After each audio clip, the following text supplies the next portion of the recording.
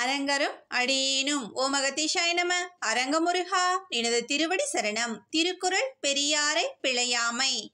ஏந்திய கொள்கையார் சீரின் இடைமுறிந்து வேந்தனும் வேந்து கெடும். மேம்பட்ட குறிக்கோள்களை உடைய நல்லோரிடம் சினம் கொள்வாரானால் பெரும் சிறப்புடைய செல்வத்தையும் படைபலத்தையும் பெற்றிருப்பவராக இருப்பினும் தானாகவே அழிந்து போவான். சிறந்த தவமும் ஞானமும் உடைய மகான்களுக்கு ஆண்டியும் அரசனும் ஒன்றே என்ற ஆறுமுக பெருமானே.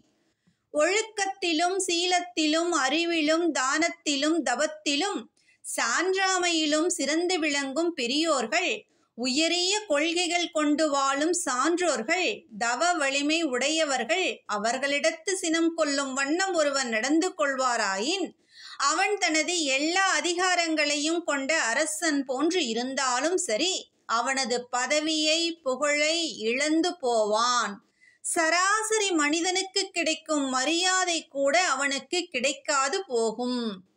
தனது சினத்தால் தன்னுடைய தவமும் ஆற்றலுக்கும் பங்கம் வரும் என்று உணர்ந்தாலும் தன்னுடைய கொள்கைகளுக்கும் நற்செயலுக்கும் பழி நேர்ந்துவிடக் கூடாது என்று பெருங்கருணை கொண்டு தான் எதையும் இழக்கும் மன வலிமையை கொள்வார்கள்.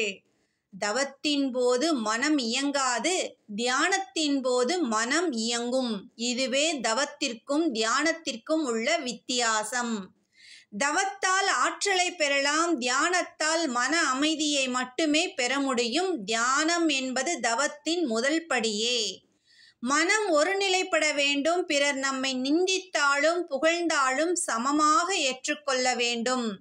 பிறர் இகழ்ந்தால் நமக்கு மிகப்பெரிய உபகாரம் செய்கின்றான் என்றே பொருள். மாந்தர்கள் நம்மை ஏளனம் செய்ய செய்ய நாம் பொறுமையோடு இருந்தால் மகான்கள் நம்மை பண்புள்ள பிள்ளை என்று அன்பு பாராட்டி நம்மை நேசிக்கவும் அரவணைக்கவும் செய்வார்கள். அவர்களது அருளையும் அன்பையும் பெறுவது சாதாரணமானதல்ல.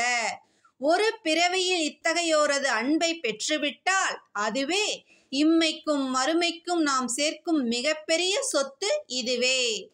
பொருளை யார் வேண்டுமானாலும் எப்படி வேண்டுமானாலும் சேர்த்து கொள்ள முடியும். ஆனால் ஒரு சிறந்த நற்பண்புள்ள தவசியின் அன்பை பெறுவது எளிதல்ல. ஆனால் அந்த விதத்தில் நாம் அனைவரும் மிகப்பெரிய பாக்கியவான்களே. உயர்ந்த குருநாதர் அரங்கமகானின் நேரடி உபதேசத்தையும் அன்பையும் அருளாக விளங்கும் சொத்தை பல கோடிக்கணக்கில் நாம் பெற்றோம் பெறுவோம் மேலும் பெறப்போகின்றோம். ஞானியர்களின் திருவடிகளை போற்றினால் நமது வினைகள் அகலும் அப்பா. நன்மைகள் பல வந்து சேரும் அப்பா. குருவின் அருளோடு பணிவான காலை வணக்கம்.